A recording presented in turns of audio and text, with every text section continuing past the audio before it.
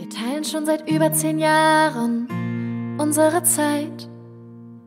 Jeden Morgen, jeden Tag, jeden Abend. Und ich weiß genau, ich bin bereit, unsere Geschichte zu schreiben. Denn ich will nur dich und mich zusammen. Wir haben doch gerade erst angefangen. Im Leben kommt es nie so, wie man es plant. Ein Blick, ein Lachen.